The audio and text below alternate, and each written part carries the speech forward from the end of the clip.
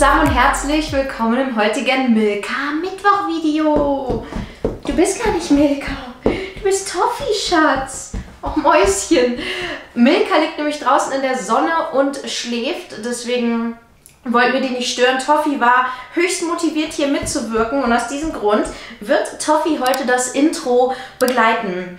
Es geht auch um ein richtig cooles Thema und zwar das Thema Hundepools. Der Sommer ist ja endlich endlich da und du hast kein Pups, ey, Toffee. Oh mein Gott, Stinky.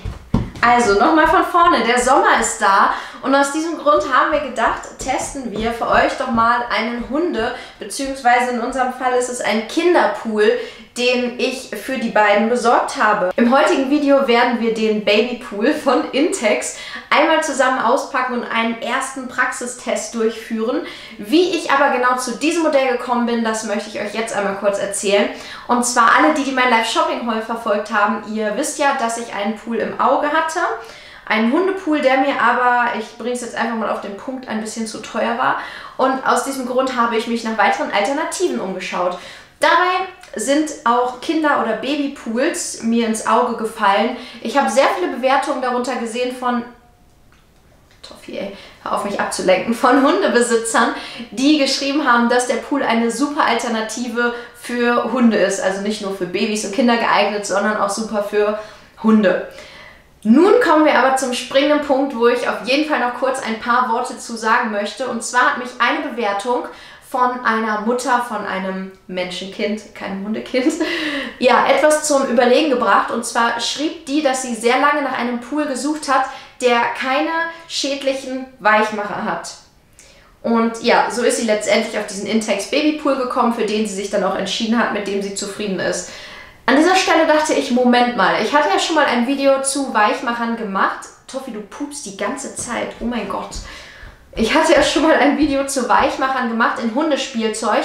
Und da gibt es, wenn sich das bis jetzt nicht geändert hat, ich glaube es nicht, dass in den paar Monaten irgendwas anders geworden ist, gibt es keine Grenzwerte bei Hundespielzeug, was schädliche, krebserregende Weichmacher betrifft. Im Babyspielzeug gibt es aber gewisse ja, Grenzwerte, die nicht überschritten werden dürfen. Nun ist es ja so, dass Babys und Hunde eigentlich vom Verhalten also vom Verhalten gleich sind, oh wow, vom Verhalten insofern gleich sind, dass sie alles in den Mund nehmen, ansabbern und ja, eventuell auch mal zum Beispiel jetzt in einem Pool das Wasser trinken.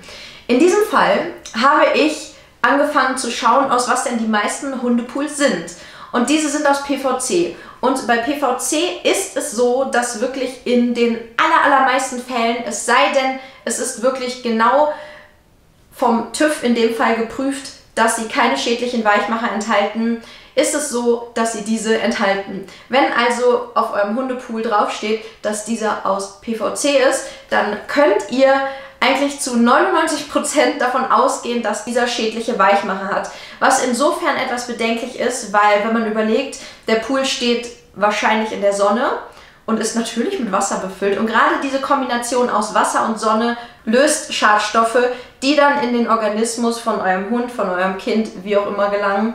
Und das einfach, ja, nicht gut ist. Und gerade bei so einem Pool, wo ich halt weiß, die trinken da raus, ist es, finde ich, ja, so eine Sache, der man sich bewusst sein sollte.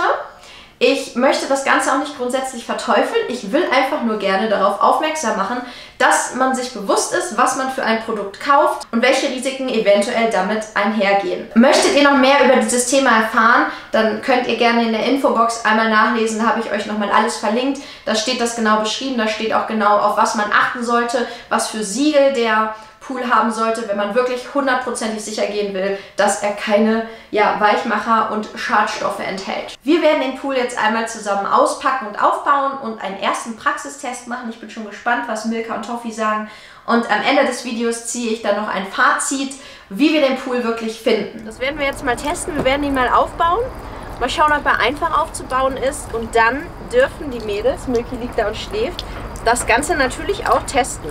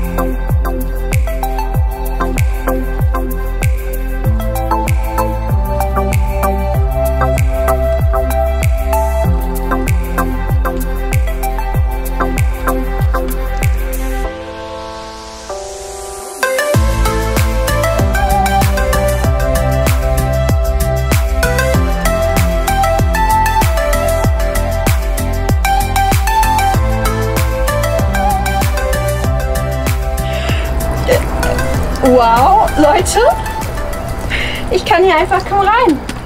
In unseren noch leeren Pool. Also, ich bin auch nicht groß mit 1,63, äh, aber wie cool ist das denn? Oha, ich glaube, das ist sehr, ich glaube, das ist mein Pool und nicht euer Pool, Toffi. So, jetzt muss ich nochmal überlegen, ob wir den tatsächlich hier stehen lassen. Wo ist Milka? Milka! Milka ist im Schatten. Komm mal her, schau mal. Guck mal. Milka, komm mal her. Milks, komm mal rein. Hopp. Milka so, oh mein Gott, was ist das? Ein Pool für dich oder euch. Also ja, krass. Erster Eindruck. Fettes Teil auf jeden Fall. Ich muss das hier nur noch mal gerade richtig drehen, damit das gleich auch ordentlich befüllt werden kann. Ja. Aber ich meine, es ist ein bisschen groß da, oder? Wow.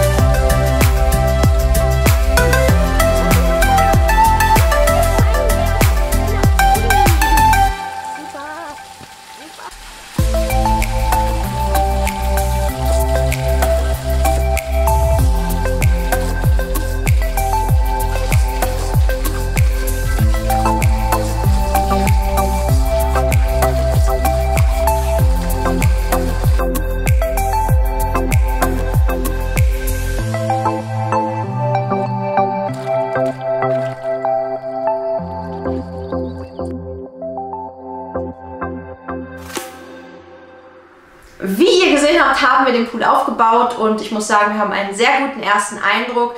Die 28 Euro ist er auf jeden Fall wert. Ich bin gespannt, wie er sich weiterhin so schlägt und ob er weiterhin ja unsere Zufriedenheit erfüllt.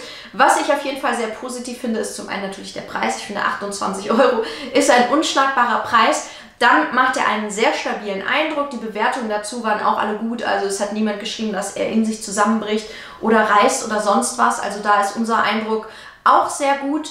Des Weiteren finde ich das Ventil am Boden sehr praktisch, wenn man das Wasser wieder auslassen möchte geht das sehr einfach im Gegensatz zu anderen Pools, die halt kein Ventil am Boden haben. Und ansonsten, also ich finde, für unseren Zweck ist er jetzt auf jeden Fall gut geeignet. Ich werde mich vielleicht auch das ein oder andere Mal mit reinsetzen. Kommt natürlich drauf an, wie sauber er bleibt bei den beiden.